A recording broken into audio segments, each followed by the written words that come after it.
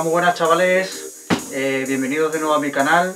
Hoy os traigo un pequeño unboxing de un equipito nuevo que me he comprado. Como muchos ya sabréis, eh, que lo habréis visto por Twitter y por, por mis redes, eh, hace un tiempecillo me encargué un Mac 127 de Skywatcher con la montura ZGTI y nada, pues vamos a, vamos a abrir el paquete a ver qué tal viene todo a ver si viene todo correcto y,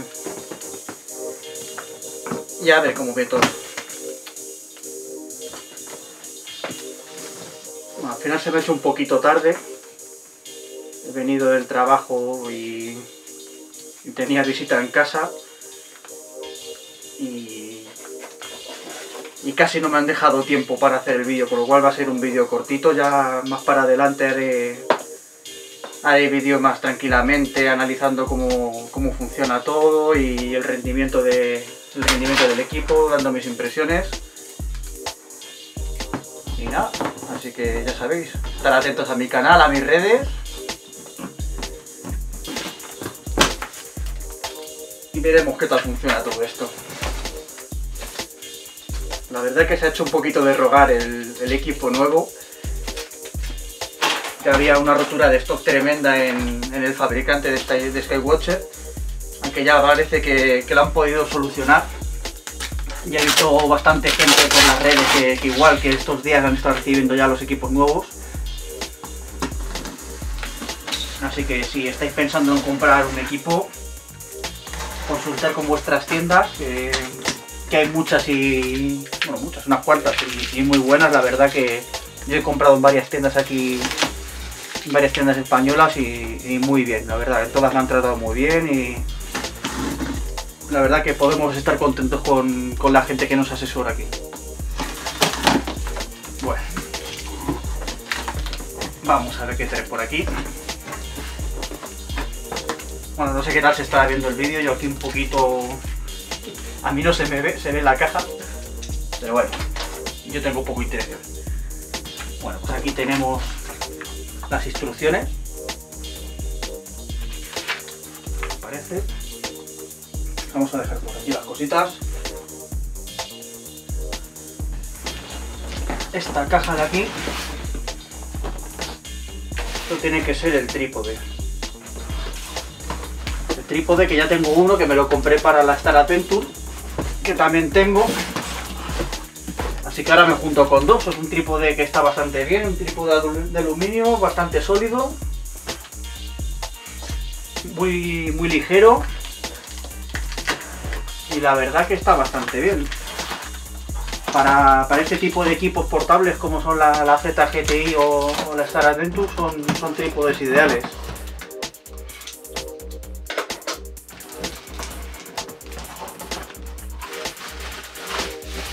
Aquí viene la bandejita.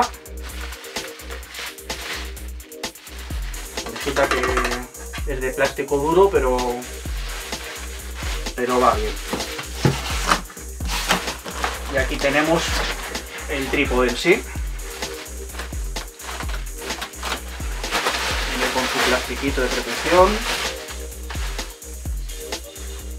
Tiene un buen calibre, está muy bien. Un trípode que, que me sorprendió gratamente cuando compré el otro.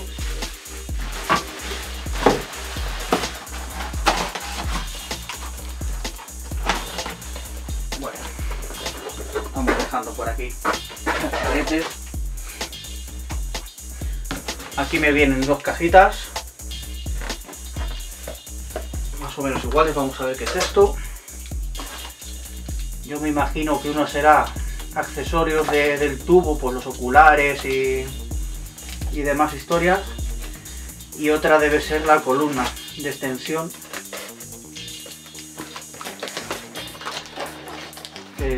que, viene para poner entre lo que es la, la ZGTI y, la, y el trípode para que suba un poquito. Vale, esta es la de esta es la de los accesorios. Aquí viene el buscador de punto rojo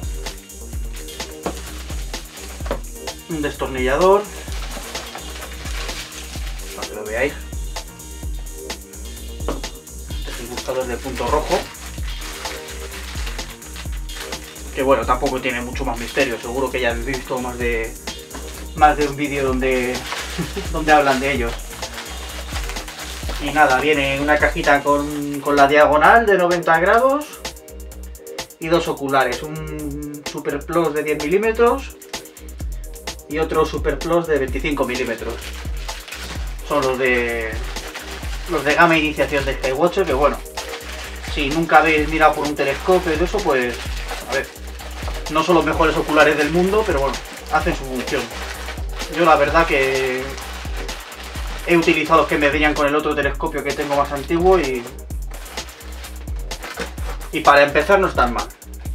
Tampoco creéis que son una castaña ni, ni nada por el estilo. Lógicamente pues no, no serán de la misma calidad que pueden ser unos, unos Hyperion, por ejemplo. Vamos a ver esta otra cajita, a ver qué trae. Esta debería ser la columna.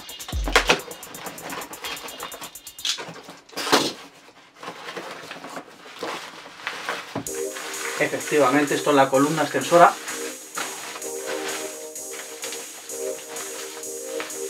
Verdad que viene todo, todo el paquete muy bien embalado. Bien protegido con sus cajitas. ¿Veis? Esta es la columna. Aquí tiene los tornillitos para soltar.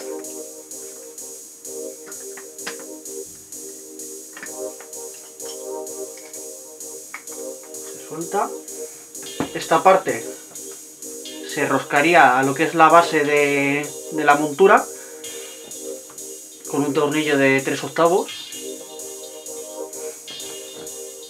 que tiene aquí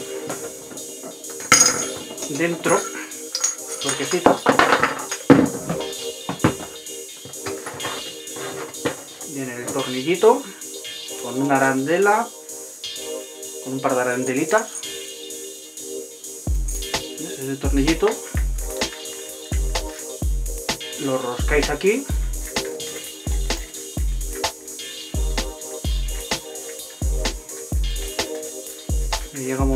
va a asomar por aquí y aquí roscáis la, la base de la montura.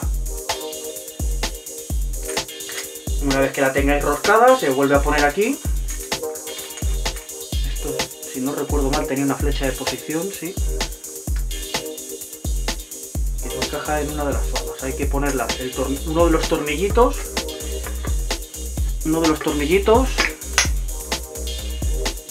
la flechita de posición. Bueno, no sé si se va a ver bien porque tengo la cámara con el objetivo fijo. Bueno, aquí hay una, una flechita blanca en el, cachito blanco que debe coincidir con uno de los tornillitos. Apretáis y luego ya apretáis los otros dos tornillitos y ya quedaría esto bien. Y esta parte de abajo se rosca al, a lo que es el trípode. Tampoco tiene mucho misterio el sistema.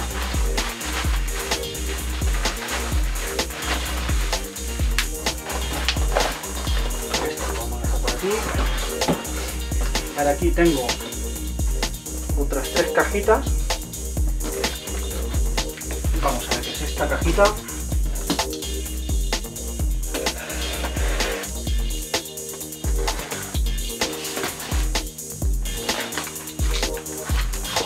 Esta cajita tiene pinta de ser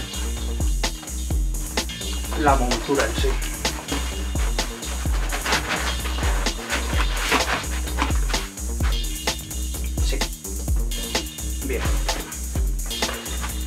Esta es la montura, la ZGTI.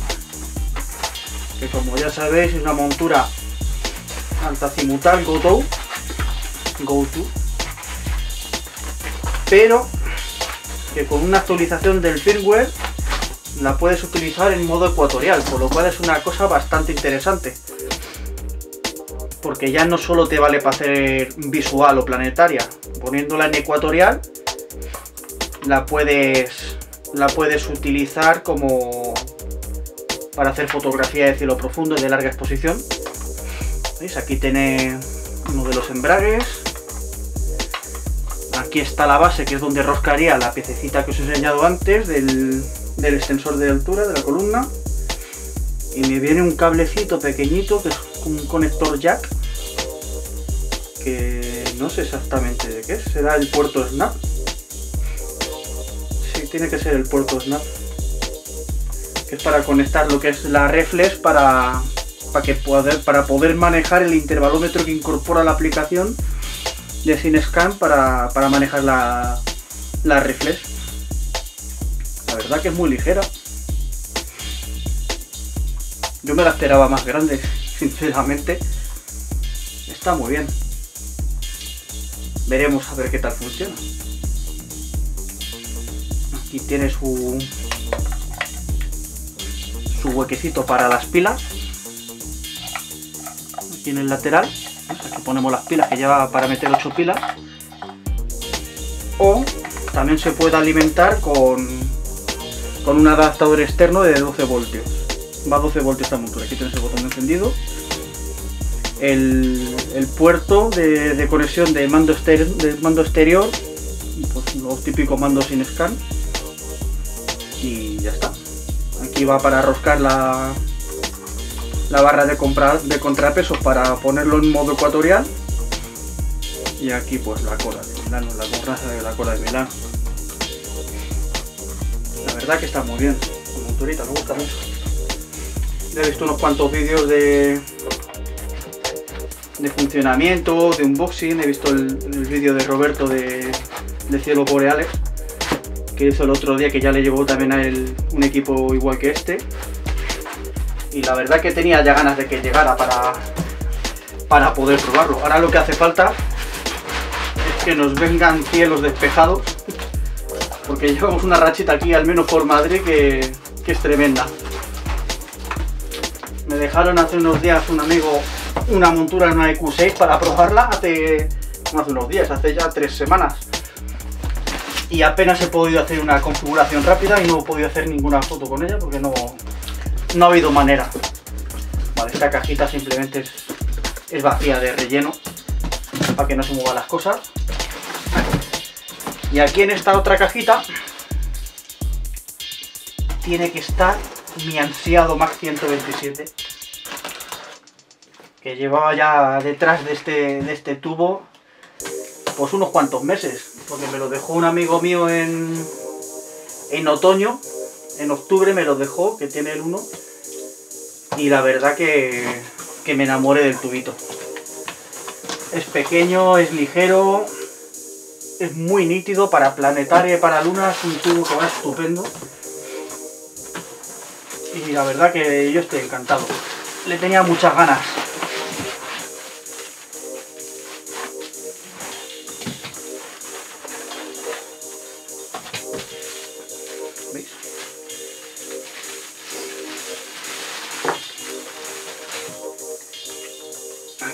Pequeño Mac.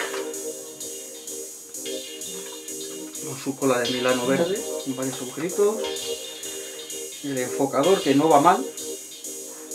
Aunque ya he visto por ahí gente que le pone una pinza para, para hacerlo un poquito más preciso. Y nada, la tapita que, la tapita que va bien. Que vi que a Roberto el que le dejaron se le quedó pegada, no la podía despegar. Luego el que se compró ya no, pero el primero que le dejaron en el primer vídeo se le quedaba pegadillo, no, no lo podía despegar bien. Y nada, pues... Pues esto es lo que ha venido. Ahora toca esperar, pues eso, que, que se despeje un poco el cielo y poder hacer pruebas con, con todo el conjunto.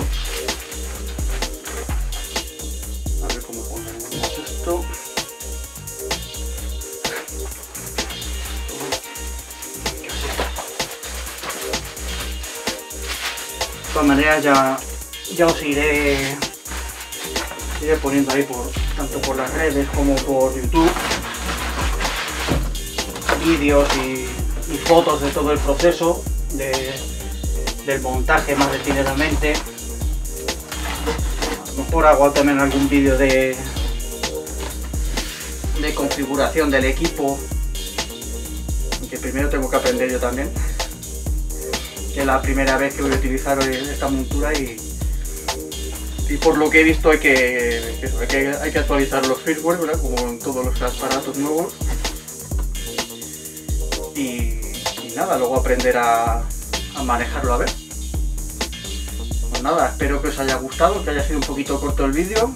Otro día con más calma hacemos hacemos un montaje y, y algunas pruebas, por ejemplo, con, con la luna o iba a decir con algún planeta, no, planetas ahora mismo no tengo, no tengo a la vista desde aquí en esta época. Ya habría que esperar unos meses para, para los planetas, pero la luna sí. Así que nada, otro día hacemos el vídeo tranquilamente y, y vemos qué tal rinde en directo y ¿vale? Pues nada chicos, que espero que os haya gustado. Si os, podéis dejar un like, un comentario, siempre, siempre son, son bienvenidos los comentarios en todo lo que, pueda ayudaros os, os, ayudaré con dudas, sugerencias y, y, nada. Nos vamos viendo por aquí. Hasta luego.